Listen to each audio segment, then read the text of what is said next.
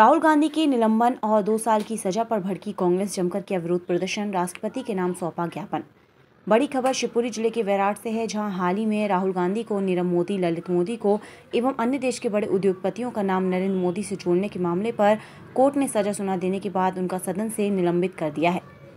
वहीं, जिससे पोहरी ब्लॉक के वैराड में कांग्रेस द्वारा जमकर विरोध प्रदर्शन किया जा रहा है वैराड में ब्लॉक अध्यक्ष डॉक्टर राम दुलारे यादव बड़ी संख्या में कांग्रेस के कार्यकर्ताओं के साथ बैराड नगर के मुख्य बाज़ार में प्रदर्शन करते हुए राष्ट्रपति के नाम बैराड तहसील पर ज्ञापन सौंपकर देश के प्रधानमंत्री नरेंद्र मोदी का पुतला चलाते हुए विरोध प्रदर्शन व्यक्त किया। कांग्रेस के कार्यकर्ताओं ने जानकारी देते हुए बताया कि नरेंद्र मोदी प्रधानमंत्री भारत सरकार द्वारा लोकतंत्र का गला घोटकर अपनी तानाशाही पूर्वक वर्ष 2013 कर्नाटक चुनाव के दौरान राहुल गांधी के द्वारा भाषण दिया गया था, जिसके विरुद्ध नरेंद्र मोदी ने षड्यंत्र पूर्वक गुजरात के सूरत में मानहानि का प्रकरण दर्ज किया। जिसमें न्यायाधीशों में मेल मिलाप कर न्यायपालिका को बदनाम किया गया है, जिसमें कई न्यायाधीश बदले गए हैं।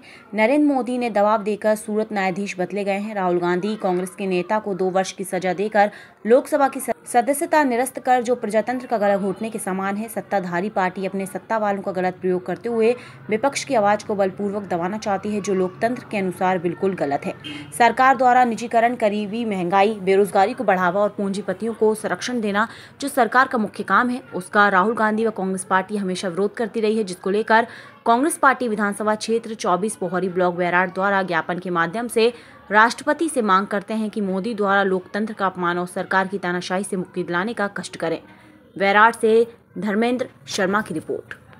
लोकसभा से सदस्यता रद्द कर दी। इसके विरोध में कांग्रेस पार्टी ब्लॉक ब्लॉक विधानसभा ज़िले में हर जगह पूरे देश पूरे देश में ज्ञापन दे रही है। राष्ट्रपति के नाम और मैं आपको बताऊँ कि बीजेपी पार्टी किस प्रकार से ये लोकतंत्र की हत्या कर रही है। इसके बारे में एक उदाहरण महाभारत से लेता हूँ। जब महाभारत काल में दोनों पक्ष एक साथ थे दोनों पक्ष आमने सामने थे तब पितामह भीष्म ने एक नियम बनाया संविधान बनाया कानून बनाया कि कोई भी योद्धा इस नियम का पालन करेगा अगर उल्लंघन किया गया तो युद्ध से बाहर किया जाएगा। इस प्रकार के नियम रखे गए। उन नियमों में कहा, पहला नियम था कि एक योद्धा से केवल एक योद्धा लड़ा जाएगा। ये सारे नियम आप जो, आप लोगों को पता है। जब तक पितामह भीष्म थे, तब तक सारे नियमों का पालन किया गया।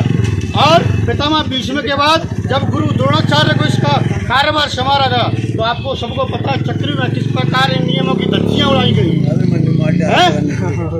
इसी प्रकार आज की राजनीति में जब तक अटल जी थे, जब तक अटल जी थे, तब तक संविधान के सारे नियमों का पालन किया जा रहा था।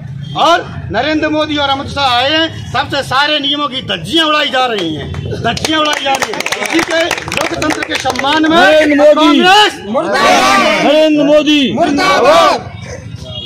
ये हमारा जो आज राष्ट्रपति महोदया को हमने ये जो ज्ञापन दिया है ये जो जिस तरीके से मोदी सरकार तानाशाही करके और हमारे राहुल गांधी जी को जिस प्रकार से सदस्यता निलंबित की है, लोकतंत्र का जो गला घोटा है, इसके लिए हमने माननीय राष्ट्रपति महोदया को ज्ञापन दिया है। धरना प्रदर्शन ये कांग्रेस अकेले का नहीं, ये धरना प्रदर्शन उस आम व्यक्ति का है, उस एक आम किसान का है, जो मेहनत करके अपनी साल भर में फ़सल बेचना चाहता है और अपनी किसानी का, खेती का, जो भी फ़सल होती या किसानी का जो भी पैसा होता अडानी के हाथों में नहीं देना चाहता है। जब हमारे सांसद राहुल गांधी जी ने ये सवाल पूछा कि अडानी से और आपके रिश्ते क्या हैं उसके लिए उन्हें निलंबित कर दिया। तो क्या एक आम व्यक्ति एक आम जनप्रतिनिधि ये सवाल नहीं पूछ सकता? उनके समर्थन में और भारतीय जनता पार्टी के जो सोच है कि हर किसान की फ़सल और खेती एक व्यापारी के हाथ चली जाए उसके खिलाफ ये हम लोगों राहुल गांधी जी की सदस्यता जिस षडयंत्र पूर्वक नरेंद्र मोदी ने ख़त्म की है, राहुल जी का कितना कोई दोष तो था नहीं, भाई उन्होंने कहा कि क्या जो सभी चोरों का नाम मोदी है? तो नरेंद्र मोदी को इस बात का बुरा क्यों लगा भाई? या तो ये चोर खुद है?